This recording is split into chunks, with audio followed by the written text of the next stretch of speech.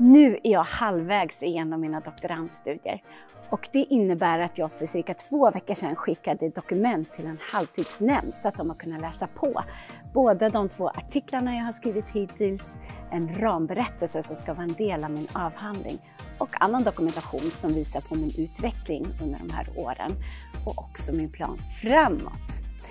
Det som ska ske idag är att det ska vara mitt halvtidsseminarium och det innebär att jag börjar med att hålla en 25 minuters presentation på engelska. Efter det så kommer halvtidsnämnden att kunna ställa frågor till mig och också människor som sitter i publiken. Jag är lite nervös, men det kanske hör till, så ni får önska mig lycka till!